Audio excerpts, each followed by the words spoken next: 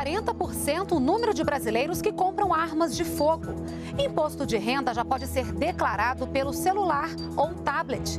E veja também: mortes nas estradas federais durante a Semana Santa registram queda em relação ao feriado do ano passado.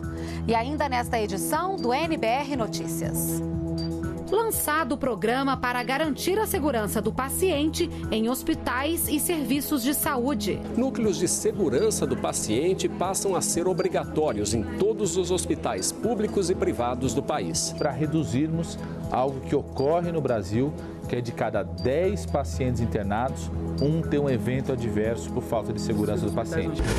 Educação no campo. Mais de 2 milhões de estudantes de escolas públicas rurais recebem livros didáticos. Traz novas palavras para meu vocabulário, eu aprendo mais. O NBR Notícias começa agora.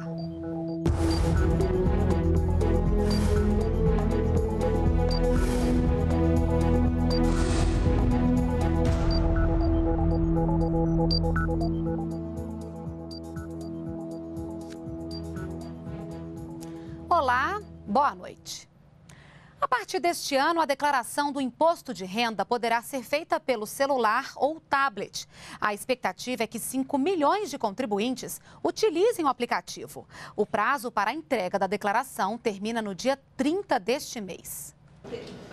O aplicativo se chama MIRPF e pode ser usado pelos contribuintes para fazer a declaração do imposto de renda à pessoa física até o dia 30 deste mês. Abrange mais de 5 milhões de contribuintes, facilitando enormemente a vida dessas pessoas que poderá iniciar a sua declaração desde uma fila, desde o transporte no ônibus, no coletivo, na espera de um, de um, de um, do médico, do dentista, facilitando, portanto, para a população o cumprimento de sua obrigação. O aplicativo funciona em tablets e smartphones que usam as tecnologias Android e iOS.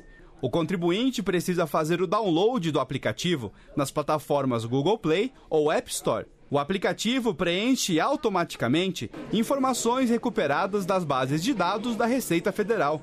Também é possível salvar um rascunho da declaração para continuar o preenchimento mais tarde. Se o contribuinte esquecer alguma informação, é possível retificar a declaração por meio do computador, acrescentando os dados que faltavam. Nesta primeira versão, profissionais liberais, como médicos e advogados, além de contribuintes que possuam aplicações financeiras, ganhos de capital e heranças, por exemplo, não vão poder usar o aplicativo. A expectativa é de aumentar somente para o ano que vem o número de contribuintes que podem usar o MRPF para fazer a declaração. Não era nosso objetivo começar com algo tão complexo. Eu acredito que a gente vai evoluindo aos pouquinhos, né? A gente vai implementando novas funcionalidades, quem sabe o ganho de capital já não entra numa próxima versão e a gente vai aumentando é, gradativamente. Não, não era objetivo começar com algo muito complicado e acabar afastando o público que poderia é, participar desse momento. A expectativa da Receita Federal é receber 26 milhões de declarações do imposto de renda. Até agora já foram entregues 5 milhões e 700 mil declarações. Para tirar dúvidas e também mais informações, basta acessar o site da Receita Federal. O número de mortes em acidentes nas rodovias federais caiu 10% no feriado da Páscoa deste ano, em comparação com o mesmo período do ano passado. Foram registradas 108 mortes. Em 2012, foram 120. Os estados com maior número de mortes foram Minas Gerais, Rio de Janeiro e Goiás. Os acidentes também diminuíram. Foram 2.429 neste ano contra 2.674 no ano passado, uma queda de 9%. O número de feridos também caiu os dados da Polícia Rodoviária Federal foram divulgados hoje. Uma campanha vai orientar segurados do INSS contra golpes de pessoas que oferecem facilidades nos serviços previdenciários em troca de dinheiro. A gente conversa agora com o repórter Ricardo Carandina, que tem mais informações sobre esse assunto. Boa noite, Carandina. Olá, Renata, boa noite, boa noite a todos. Esses atravessadores muitas vezes atuam dentro das próprias agências do INSS e se oferecem para facilitar a obtenção de serviços ou de benefícios previdenciários que acabam cobrando por serviços que são inteiramente gratuitos. Ao vivo com a gente aqui no NBR Notícias, Carlos Eduardo Gabas, que é o secretário executivo do Ministério da Previdência Social. Bem, secretário, existe algum tipo de serviço do INSS para o qual o segurado precisa de um intermediário? Boa noite. Ou ele pode resolver isso tudo sozinho, diretamente na agência? Boa noite. Boa noite, Ricardo. É, não existe nenhum serviço da Previdência Social que se cobra alguma taxa, alguma tarifa. Todos eles são prestados ou nas agências ou à distância pelo canal remoto 135. As pessoas podem descarregar gratuitamente 135 e tirar todas as suas dúvidas, agendar o seu atendimento ou pela internet www.previdencia.gov.br o que o segurado deve fazer se for abordado por um desses atravessadores numa agência do INSS? Olha, Ricardo, infelizmente nós ainda é, nos deparamos com situações como essas. É, é, não é possível impedir as pessoas, esses atravessadores, de ficarem do lado de fora das agências, aliciando os segurados. E nós sabemos que os nossos aposentados, esse conjunto, esse segmento da sociedade que são os idosos, eles são muito vulneráveis porque acreditam nas pessoas, porque têm boa fé. Em regra, acabam caindo nesses contos todos os serviços devem ser procurados diretamente pelos servidores do INSS, ou presencialmente ou por canais remotos. Então, se o, se o segurado for abordado numa agência ou na rua, ele recusa esse atendimento, não tem necessidade é, os serviços são prestados diretamente, preferencialmente, diretamente ao interessado. Por isso é preciso que essas pessoas é, recusem essa ajuda, porque na verdade não é uma ajuda. Eles vão cobrar e vão cobrar muito caro e é um serviço que é gratuito, como você mesmo colocou. E este é o objetivo da campanha que foi determinada pelo ministro Garibaldi para proteger o cidadão, para evitar que o cidadão seja lesado por essas pessoas que, no geral, têm má fé e querem enganar os segurados. A campanha entrou no ar no dia 25, na segunda-feira da semana passada. Como é que está sendo essa campanha? Olha, ela tem caráter bastante educativo, a informação é bastante clara e a aceitação é muito boa. Porque, como eu te disse, o objetivo do ministro Garibaldi, de toda a equipe do ministério, é proteger o cidadão desses atravessadores. É claro que existem pessoas que não querem tratar dos seus benefícios, dos seus direitos diretamente. E querem contratar um advogado, um escritório, eles são livres para isso. O importante é que o cidadão saiba que estes serviços são totalmente gratuitos, são de graça para o segurado. Eles não precisam de atravessadores para ter acesso aos seus direitos na Previdência Social. Bem, agradeço então a participação do secretário executivo do Ministério da Previdência Social e reforçando o alerta, Renata, o segurado deve procurar dentro das agências funcionários do INSS e, em caso de dúvida, telefone 135, pode telefonar para 135, um telefone que atende de segunda a sábado, ou então no site do Ministério da Previdência Social. Renata. Obrigada, Carandina. Boa noite. Foi lançado hoje um banco de dados digital com parte do acervo do extinto DEOPS de São Paulo, órgão da Polícia Civil que atuava na repressão aos grupos de oposição ao regime militar. São quase um milhão de imagens que podem ser consultadas a partir de hoje no site do Arquivo Público do Estado de São Paulo. O lançamento do banco de dados foi durante o seminário que marcou o início das comemorações da Semana Nacional Memória e Direitos Humanos. Segundo a Comissão Nacional da Verdade, os documentos vão ajudar o país a reconstituir a verdade sobre graves violações de direitos humanos. Foi criada nesta segunda-feira a Secretaria de Micro e Pequena Empresa. A nova pasta, com status de ministério, vai ter a missão de elaborar ações e projetos que fortaleçam as micro e pequenas empresas do país. De acordo com a assessoria da Presidência da República, o ministro que vai coordenar a pasta ainda não foi definido. O ex-senador e atual vice-presidente do Banco do Brasil, César, Borges, foi confirmado agora há pouco no Ministério dos Transportes. Ele assume o cargo no lugar de Paulo Sérgio Passos. Em nota divulgada, a presidenta Dilma Rousseff agradeceu a dedicação e o empenho de Paulo Sérgio Passos no ministério e manifestou confiança de que César Borges vai dar continuidade aos projetos de desenvolvimento do país à frente do cargo. O governo decidiu prorrogar até o final do ano a redução das alíquotas do Imposto sobre Produtos Industrializados, o IPI, para automóveis e caminhões. O IPI para veículos flex e a gasolina de até mil cilindradas subiria de 2% para 13,5%. A alíquota original para veículos desta categoria é de 7%, mas o índice permanece em 2% até 31 de dezembro. Os carros flex de 1.000 a 2.000 cilindradas continuam com a alíquota de 7%. Com o reajuste, o valor subiria para 9%. Já os veículos a gasolina iriam ser taxados em 10%, no lugar dos 8% atuais. O IPI original desse segmento é de 11% para carros flex e 13% para os que são movidos a gasolina. Para veículos acima de 2 mil cilindradas, a alíquota permanece inalterada, em 25% para veículos a gasolina e em 18% para os carros flex. Já para caminhões, a alíquota permanece em zero.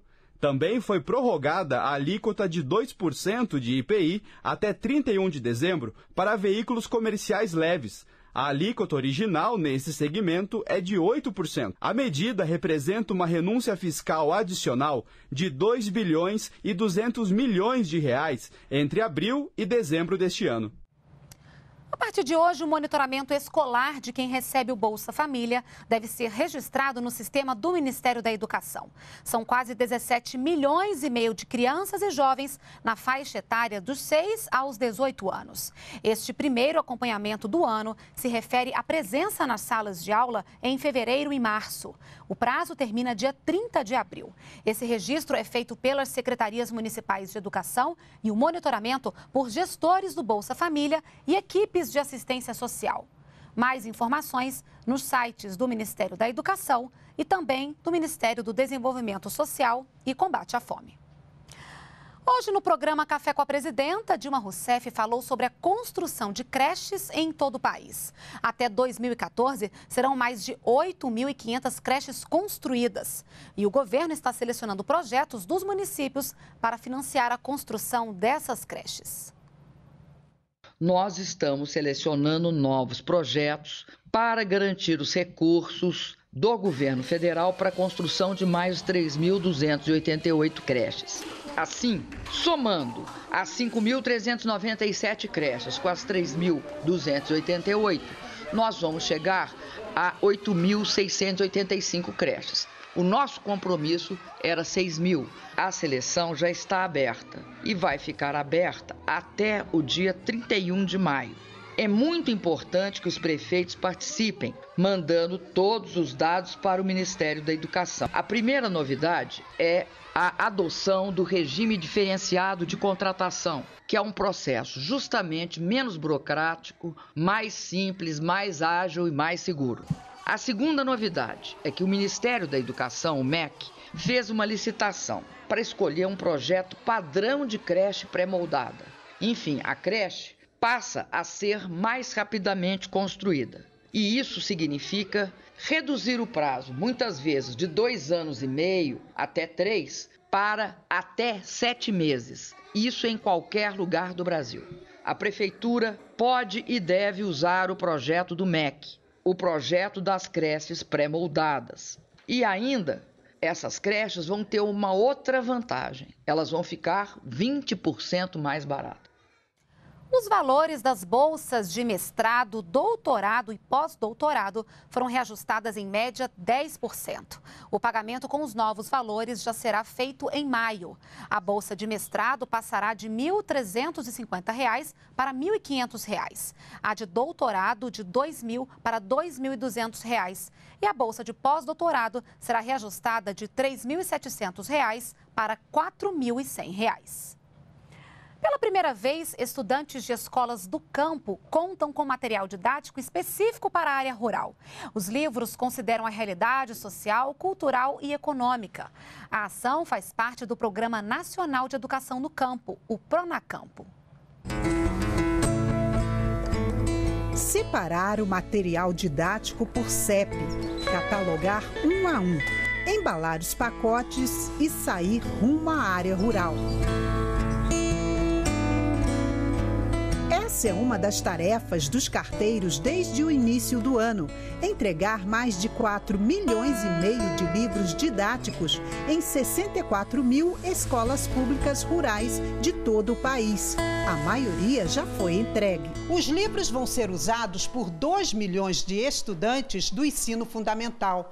A novidade é que as obras são específicas para os alunos que moram no campo. A partir do momento que é, eles vão começar a, a, uma nova visão do saber, dos fazeres, né? do campo, é, uma experiência nova para todos os professores e para a comunidade, para a direção da escola também. Né? Eu acredito que seja válida e nós vamos aprender muito com, com a adoção dessa nova ferramenta pedagógica. A escola do Núcleo Rural Catingueiro, a 60 quilômetros de Brasília, recebeu livros do terceiro ano do ensino fundamental e o manual do professor. Além de, do conteúdo programático, ele te dá dicas, te dá um, um caminho a seguir. Você pode utilizar as, as dicas que vem no manual, enriquecer com o material que você tem ele te dá um, norte a seguir. A ação faz parte do Programa Nacional de Educação no Campo, o Pronacampo. Os livros são de matemática, ciências, história, geografia, língua portuguesa, alfabetização. O material traz assuntos que são do dia a dia das crianças, ou seja, considera o contexto social, cultural, ambiental e econômico. Arthur está no quinto ano e já sabe o que um bom livro precisa ter para que ele aprenda melhor. Eu estou lendo um livro, aí de repente aparece uma palavra que eu não conheço e tiver no livro que eu tô, que eu tô lendo faz dia.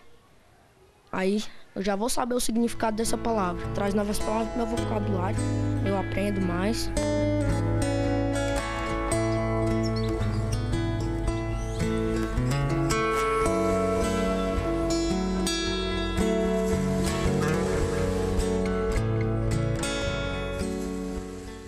Levar educação ambiental a todo o país, estão abertas até o dia 15 de abril as inscrições para o projeto Sala Verde. A ideia é abrir 100 novos centros no Brasil inteiro.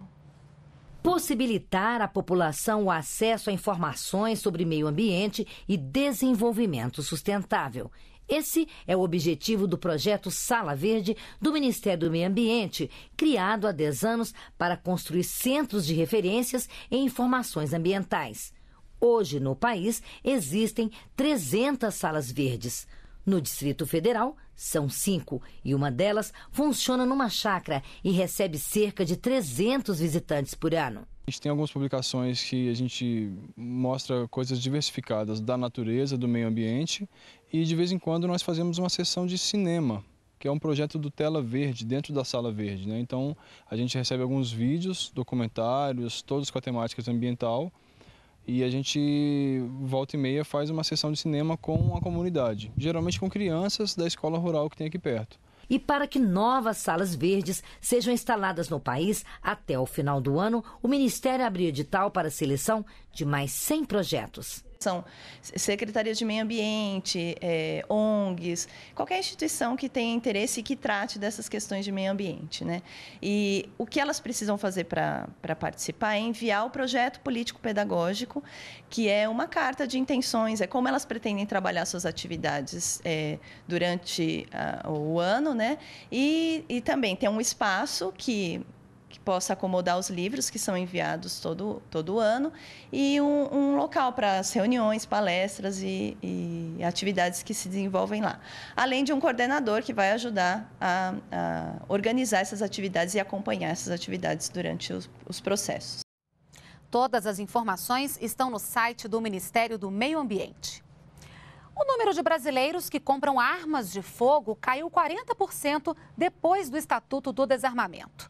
É o que aponta um estudo divulgado hoje pelo Instituto de Pesquisa Econômica Aplicada, o IPEA.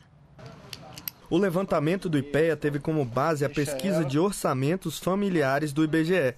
Segundo o estudo, o número de armas compradas pelos brasileiros a cada ano caiu de 57 mil em 2003 para 37 mil em 2009.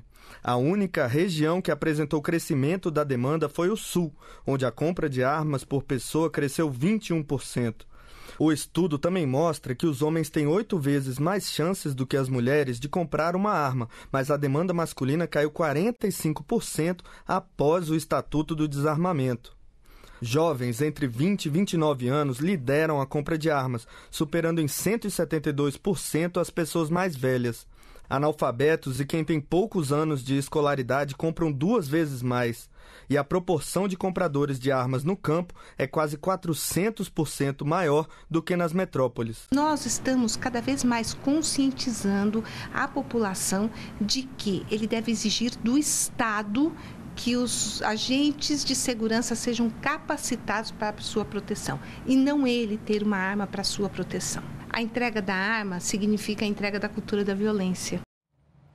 Hospitais públicos e particulares vão ser obrigados a fiscalizar regras sanitárias e padrões de atendimento por meio dos núcleos de segurança do paciente. O objetivo é prevenir e reduzir a incidência de erros durante o atendimento e a internação. O Programa Nacional de Segurança do Paciente quer evitar os casos em que, por exemplo, um alimento é injetado na veia de um paciente no lugar de um remédio, ou situações em que um membro do corpo é operado por engano. De acordo com a Fundação Oswaldo Cruz, de cada mil pacientes atendidos em hospitais, 76 sofrem um desses chamados eventos adversos. O programa estabelece que essas ocorrências deverão ser obrigatoriamente comunicadas às autoridades de saúde. É uma regra que obriga os hospitais, se quiserem funcionar como hospitais, terem um núcleo de segurança do paciente dentro do hospital, ou seja, profissionais que cuidem da segurança do paciente, da entrada até todos os procedimentos, a saída desse paciente dentro do hospital. O Ministério da Saúde também está colocando em consulta pública seis normas que devem ser observadas nos hospitais e que orientam sobre a higiene das mãos, os procedimentos de segurança em cirurgia, como conferir se as compressas usadas na operação foram retiradas, os cuidados com a posição do paciente no leito para evitar feridas na pele, as chamadas úlceras por pressão, a identificação do paciente, a prevenção de quedas e o uso de medicamentos. Os hospitais vão ter quatro meses para criar os núcleos de segurança do paciente. Os centros de saúde que não cumprirem a norma podem ter a autorização de funcionamento cancelada. Os núcleos vão aplicar e fiscalizar regras sanitárias e padrões de atendimento para evitar falhas de assistência. Esse núcleo funciona com um conjunto de profissionais que organizam, pega os seis protocolos nacionais e transforma em regras a serem cumpridas dentro do hospital. Coloca profissionais que durante todo o dia visitem os locais do hospital, ver se as regras estão sendo cumpridas ou não. Esta edição do NBR Notícias fica por aqui. Para você, uma boa noite e a gente se vê amanhã. Até lá. Continue com a gente aqui na NBR, a TV do Governo Federal.